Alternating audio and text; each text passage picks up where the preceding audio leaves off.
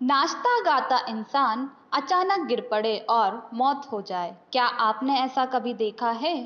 Social media पर आज एक वीडियो वायरल हो रहा है, जिसमें राजधानी भोपाल के होटल जहानुमा में senior doctor C S Jain अपने दोस्तों के साथ फिल्मी गानों की धुन पर झूम रहे थे। तभी डॉक्टर सी एस जैन को अचानक नाचते नाचते हार्ट अटैक आ गया और वे नीचे गिर गए और उनकी मौके पर मौत भी हो गई।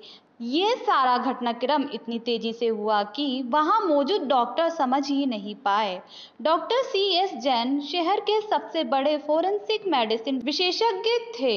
उन्होंने अपने करियर में तीन हज़ार शवों का पोस्टमार्टम किया है। टाइम एट मध्य प्रदेश के लिए भोपाल से ब्यूरो रिपोर्ट।